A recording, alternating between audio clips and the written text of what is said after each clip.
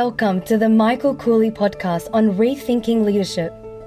In these episodes, we will look at leadership with a fresh perspective and take your leadership effectiveness to the next level. For more information, go to KoulyInstitute.com and follow Michael's continuous learning insights on social media.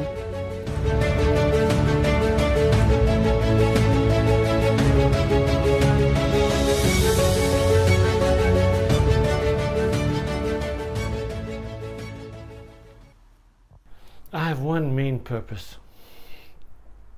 That's more important than goals. I'll tell you the difference. And my purpose is to live to the best of my ability a fulfilled life. I really mean that. To experience life to the fullest.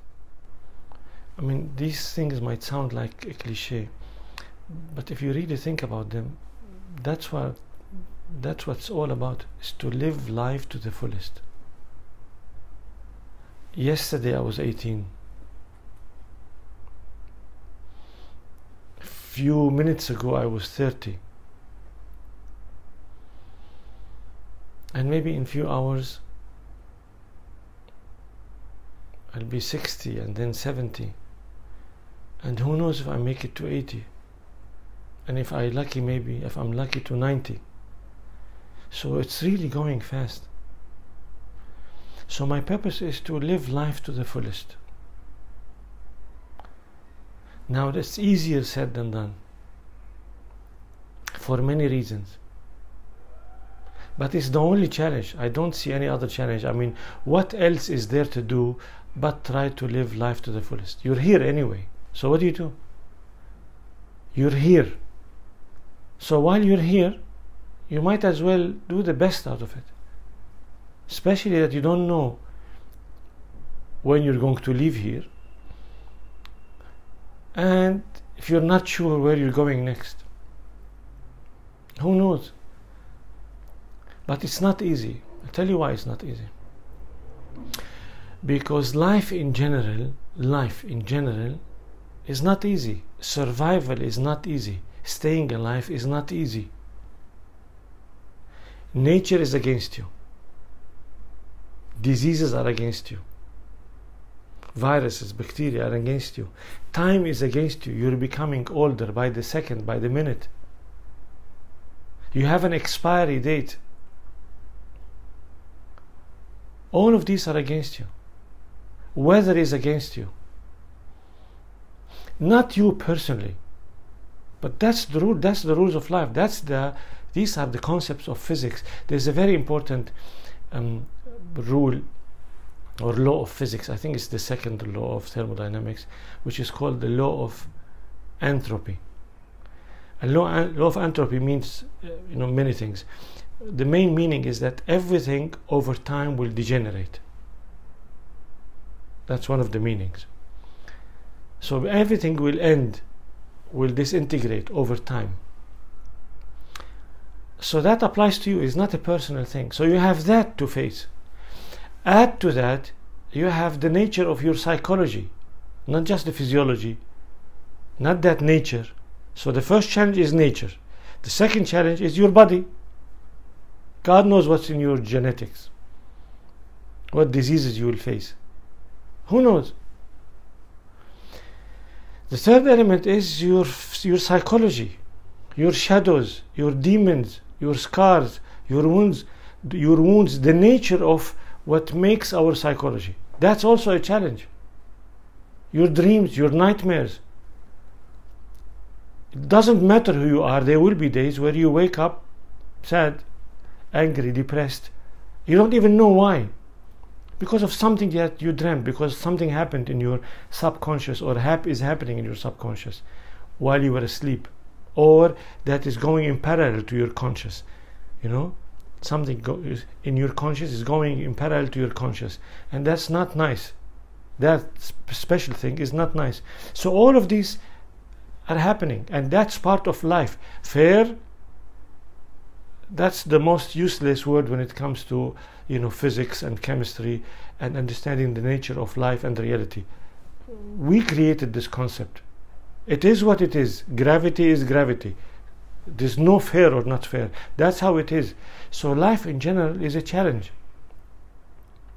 Relationships are a challenge because of the complexity of who we are and because of the complexity of living in society. Having a family is a challenge I'm not saying this in a depressive way or a negative way, but that's the nature of reality. So to say that I want to live life to the fullest, I want to maximize my experience of life or living is not an easy thing. This is a major thing and it's the top priority because there's nothing else. Everything has to fit under that umbrella. Now, how do you do that? That's the process of consciousness and maturity that's the, that takes you know knowing yourself understanding your uniqueness knowing your strengths and weaknesses knowing what makes you special in terms of your experiences and talents and your composition and your formulation. And knowing how to make the best use of that reality of who you are so that you can maximize your experience of life in the best possible way. Now, to do that, you have to have targets. And that's zooming in into your purpose. That's, that's the tactical aspect. So you have to have targets, you have to have objectives, you have to have goals. All of that comes under the big title of having a fundamental macro purpose in life. So you have to have financial targets and objectives. You have to have uh, social targets and objectives. You have to have uh, professional and career targets and objectives. You have to have developmental targets and objectives and goals. So you have to have all these landmarks, these phases in your journey, these points on the map, on the road map of your journey, so that you can optimize your life and that takes maturity and that takes learning and that takes failing and that takes messing up and that uh, takes exper- experimenting and that takes uh, getting things wrong and that takes fixing things. And that takes involves pain and disappointment and suffering and happiness and success and celebrations and dancing and laughing and crying and smiling the entire spectrum. You put all of that together you have one word life. That's what I try to do every single day. I try. Why? Because it's not easy. Why? Because it requires learning and maturity and consciousness. Why? Because is there anything else to do? There's nothing else to do. It's to have meaning for your presence on this beautiful planet. Meaning is to love and to experience love, is to give and take love, is to serve, is to add something beautiful. It is to stop yourself from doing unnecessary, creating unnecessary mess for you and for others. It's not easy, but it's an amazingly exciting journey. It's an amazingly exciting journey, this journey that we call life.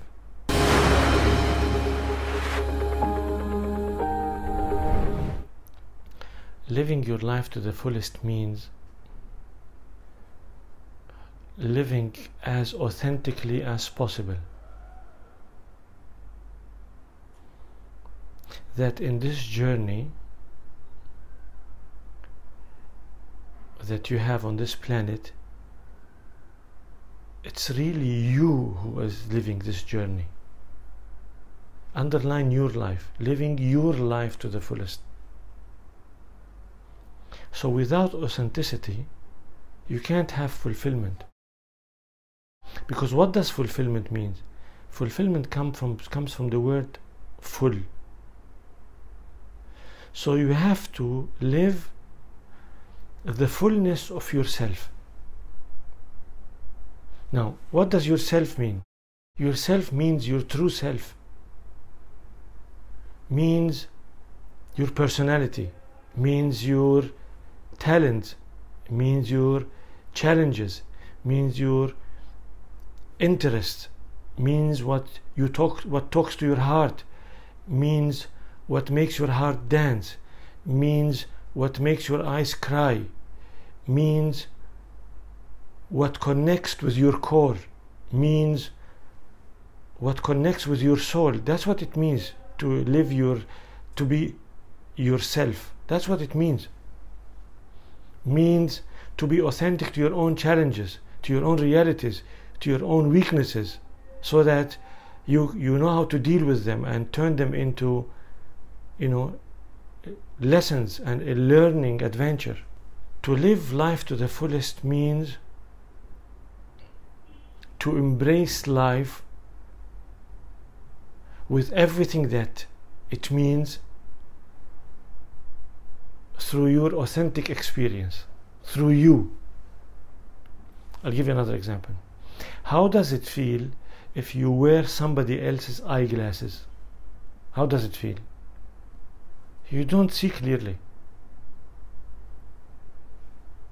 Take somebody else's eyeglasses. You know, with the filters they have, the medical condition they have, medical glasses. You don't see things clearly. When do you see things clearly? When you wear your own glasses. The glasses that reflect your own reality, your own condition. It's you're seeing life through you. So, where is the challenge here? The challenge here is to get to know yourself as much as you can. And that is a difficult journey. At the same time, it could be a simple journey. Depends how you approach it. It's a difficult journey because we're so complicated that there's no bottom to the depths of our psychology. We still don't understand how the brain functions. We don't still don't understand what we really mean by saying the mind. By, we don't understand what consciousness means. We don't understand how the mind works in a subconscious way. We don't understand dreams. We don't fully understand emotions. We don't really understand how we think. We have theories, but we don't really understand. We're trying and we're making progress, but it's so complex and complicated the human psychology so complex. Now, if you take it to metaphysical level, if you want to go to spirituality, you know, if you transcend the physics and the metaphysics or go into the metaphysics, then it becomes even far more complicated.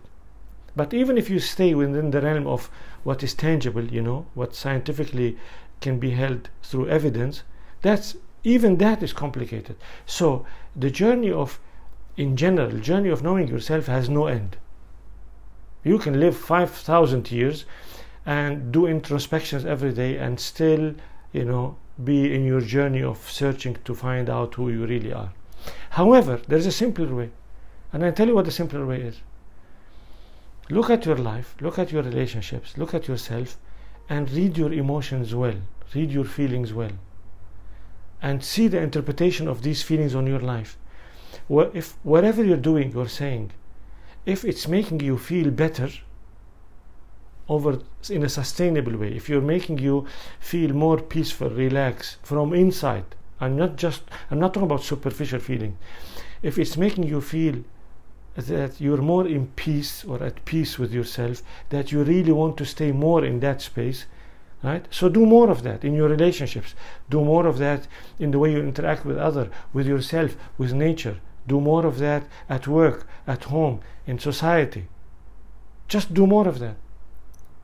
And when you feel that you're suffering, there's pain, things are not working, then that's a signal. Then that's a signal, an, an alarm signal, an invitation for you to investigate, to ask yourself, what's going wrong? There's something that's going wrong. Something is not going right so that I'm suffering in my relationships. Something is not going right so that I'm suffering in my life. I seem to be continuously failing. I seem to be stuck in the same problem, be st- stuck in the same, you know, cycle of failure. I seem to have the same problems at work, you know, repeating themselves. In my personal life, my social life, my, you know, professional life, my family life, my spiritual life. So something is not going well. And you have signals that signs that show you that. So focus on these things and try to understand what is it that you're doing that you that is contributing to this or that's creating this. Or at least you know playing a part in making it happen because sometimes it's not totally you're, you're making. So when you have that kind of awareness then you have the starting point of doing something about it so that you can fix yourself you can learn a new habit. You can unlearn a bad habit. You can look at things differently. You can change the way you interact and you know have relationship with others. You can you know do things differently until you start feeling in a better way. So that all of that together, that journey, right, will lead to what? To you understanding yourself more. So that as you understand yourself more, as you know yourself more, you use that knowledge to maneuver your life so that you spend more time in your journey in happy places, in relaxed places, in peaceful places. So, to maximize your experience of life means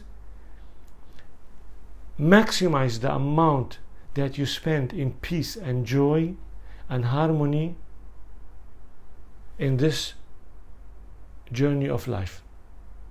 That's what it means and it means knowing how to do that. And one of the one is what's one of the first mechanism of doing that?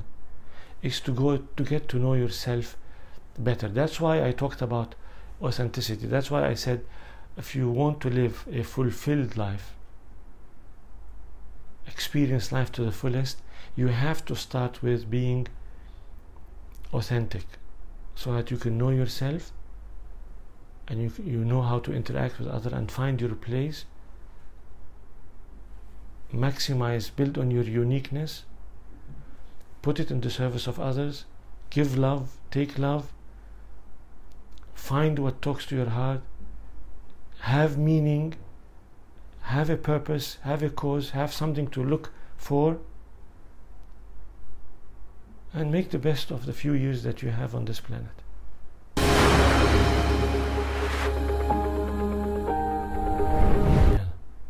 there will be days where there will be storms and sometimes scary storms.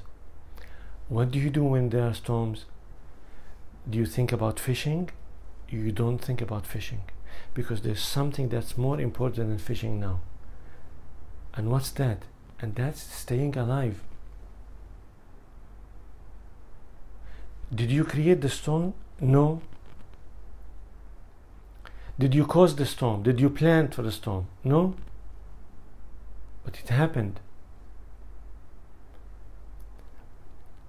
What else do you have except staying alive when there's a big storm if you're a fisherman? There's nothing else. That's your main challenge. The only thing you can control in a storm is how smart and wise you are or you act.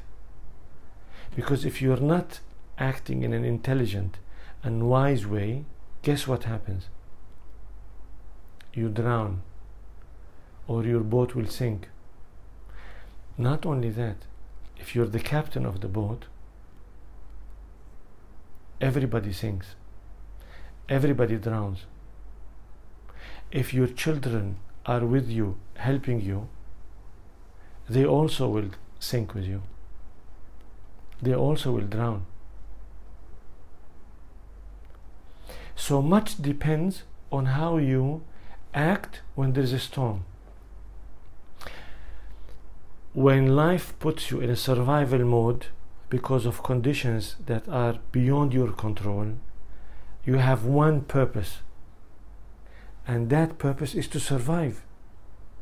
And in that moment, survival is the biggest achievement. Not catching fish is the achievement. Not the quantity of the fish is the achievement. Not the quality or the nature of the kind of the fish is an achievement. If you caught sardines or whales, doesn't matter. There will be times where just making it alive when times are tough is an achievement by itself. And if you manage to do that, if you manage to do that, if you acted in an intelligent way, if you acted in a smart way, if you acted in a wise way, if you were strong enough emotionally, mentally, if you had the necessary skills to make it, and you managed to come home, then that's alone, that alone is a reason for a party. Because you've just given yourself another life. And if there were people with you and you were in charge of those people, you've given these people another life.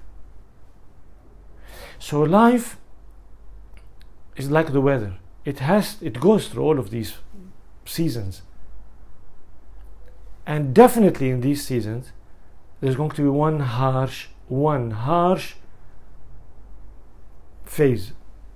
It's either a very, you know, tough winter or dry season or very tough summer. And if you're living, even if you're living in a place that's, you know, spring every day, you might get some seasons of fires or volcanoes or earthquakes.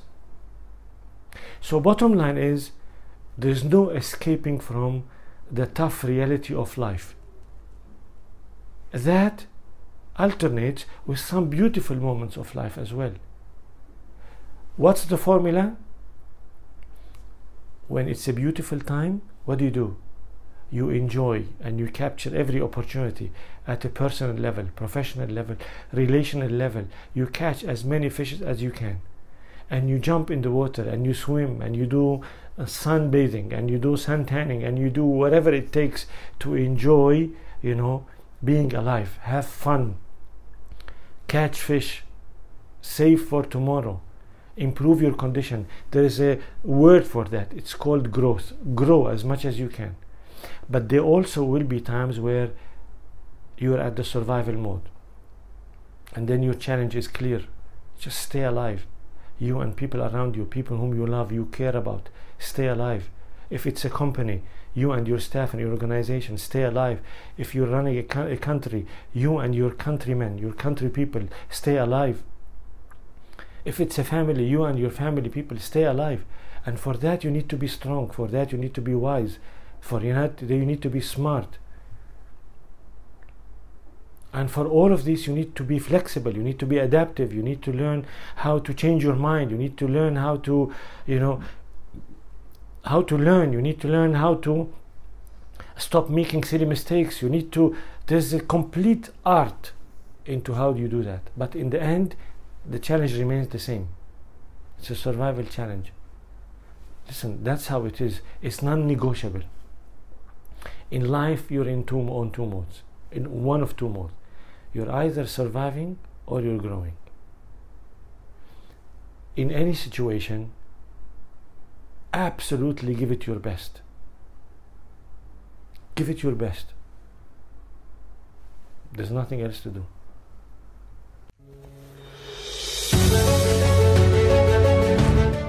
Thank you for listening to the Michael Kouly podcast. Please visit KoulyInstitute.com and send us an email. We would love to hear your comments and thoughts on this episode. And remember to follow Michael's continuous learning insights on social media.